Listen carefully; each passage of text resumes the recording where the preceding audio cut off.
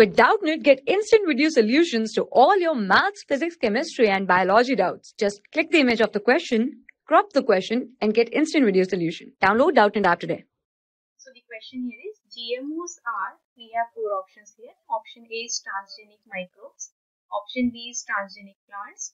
Option C is transgenic animals. And option D is all of the above, right? So let's see what will be the correct answer here. So first of all, GMO stands for genetically modified organisms. Right? So genetically modified organisms which are GMOs, they can be defined as the organisms. So they can be plants. These organisms can be plants or these organisms can be animals or microorganisms. Or microorganisms right?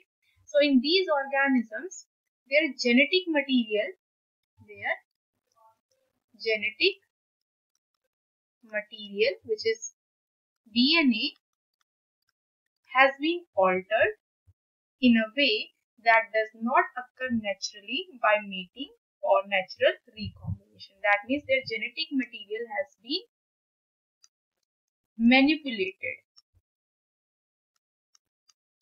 Manipulated, right? So these organisms are called genetically modified organisms. And this manipulation is done by the technique which is called genetic engineering. Right?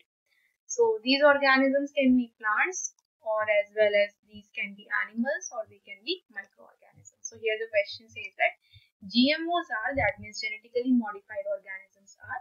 So they are microorganisms, transgenic microbes, they are plants, they are animals. So that is why they all are correct. That is why option D will be the correct answer here while the rest of the options will be incorrect.